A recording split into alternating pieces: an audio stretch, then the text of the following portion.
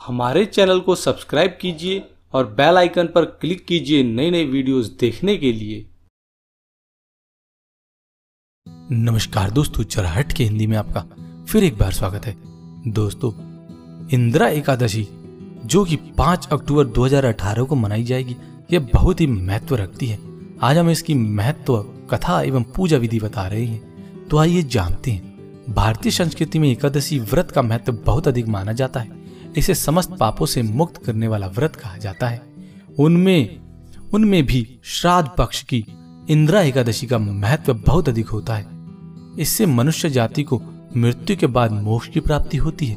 इससे पुरखों एवं आने वाली वंशजों तक का उद्धार हो जाता है। कब मनाई जाती है इंदिरा एकादशी? यह एकादशी अश्विन मास के कृष्ण पक्ष की एकादशी के दिन मनाई जाती है। श्राद्ध पक्ष में आने के कारण इसका महत्व और अधिक बढ़ जाता है। इसे मोक्ष प्राप्ति का सहज मार्ग भी कहा जाता है। इसे पितरों को भी मोक्ष मिलता है। वर्ष 2018 में इंदिरा एकादशी 5 अक्टूबर के दिन, शुक्रवार के दिन मनाई जा रही है। दोस्तों, इंद्राणी एकादशी से संबंधित महत्वपूर्ण समय। दोस्तों, पराना के दिन द्वादशी खत्म होने का समय शाम चार बज के चालीस मिनट। एकादशी तिथि प्रारंभ चार अक्टूबर 2018 को शाम नौ बज के उनचास मिनट से एकादशी तिथि अंत पाँच अक्टूबर 2018 को शाम सात बज के अठारह मिनट तक रहेगा। दोस्तों, पढ़ना का पढ़ना का समय जो होगा, वह सुबह छह बज के चौबीस मिनट से आठ बज के चवालीस मिनट तक रहेगा। इंदिरा, एकादशी व्रत, कथा व इसकी कहानी क्या है? आइए, अब हम आपको बताते हैं। सतयुग के समय की बात है। इंद्रसेन नामक राजा हुआ करते थे। राजा भगवान विष्णु के प्रचंड भक्त थे। एवं उपवास के सभी धार्मिक कार्य पूरी श्रद्धा से करते थे। उनके नगर में भी इन नियमों का पालन होता था। नगर में सुख, शांति एवं उन्नति का कारण शायद सभी का धार्मिक एवं कर्मठ होना ही था। इस कारण इंद्रसेन बहुत खुश थे। एक दिन आकाश से नारद मुनि ने इंद्रसेन के दरबार में कदम रखा। उन्हें आता देख इंद्रसेन राजा अपने स्थान से उठ खड़े हुए और पूरे आदर के साथ उन्होंने नारद मुनि को आशीत किया। उनके चरणों को धोकर स्पर्श किया। उनका इस तरह का सत्कार देख नारद मुनि बहुत प्रसन्न हुए।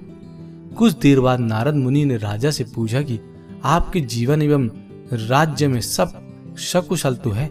राजा इंद्रसेन ने कहा, भगवान विष्णु की कृपा से सब सह कुशल है। तब नारद मुनि ने फिर से पूछा, आपके राज्य में धार्मिक सत्संग एवं यज्ञ आदि के कार्य भी नियमित हो रहे हैं? राजा ने इसमें भी हामी जताई। इंद्रसेन ने राधा, नारद मुनि से उसके दरबार में आने का कारण पूछा। तब नारद मुनि ने कहा कि मैं यमलोक गया था। वहाँ मैंने तुम्हारे पिताजी को देखा। वे बेहद दुखी थे। उन्होंने तुम्हारे लिए संदेशा भेजा है। मृत्यु के उपरांत उन्हें मोक्ष की प्राप्ति नहीं हुई है, इसलिए वे चाहते हैं, तुम उनके लिए कुछ करो। उन्होंने बताया कि उनके पूर्व जन्म में उनसे एकादशी व्रत भंग हुआ था। इसके कारण उन्हें मोक्ष नहीं मिला। राजा इंद्रसेन ने नारद मुनि से पूछा, मुझे इसके लिए क्या करना होगा? तब नारद मुनि ने कहा, श्राद्ध पक्ष में ही पितरों को मोक्ष मिलता है, इसलिए तुम श्राद्ध पक्ष की एकादशी का व्रत करो।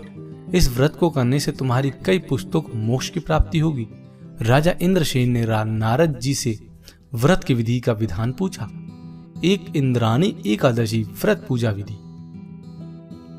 यह श्राद्ध पक्ष की एकादशी है, इसको करने से मोक्ष की प्राप्ति होती है।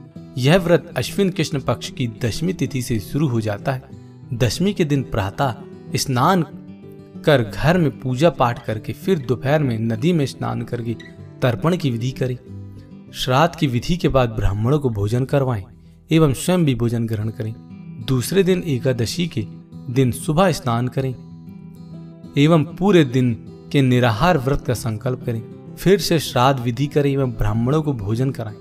इसके बाद गाय कौवे एवं कुत्ते को आहार ज़रूर दें।